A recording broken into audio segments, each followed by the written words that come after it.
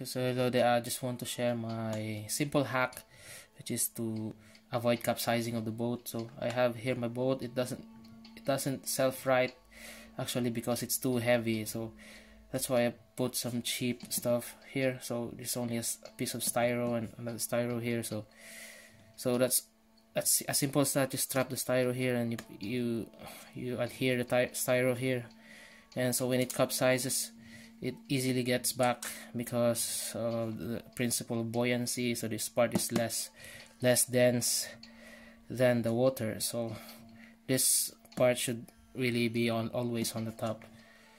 So to make this explanation like much easier to understand I can demonstrate it to you. So I have here a sample so I filled my shower with a bit of water. I clogged the I clogged this uh, the drainage part so to make this float.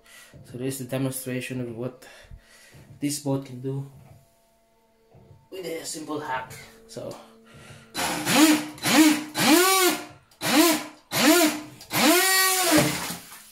So that's it. Here so it does capsize really easy. Again sorry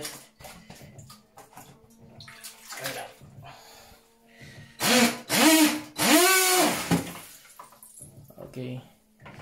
That's all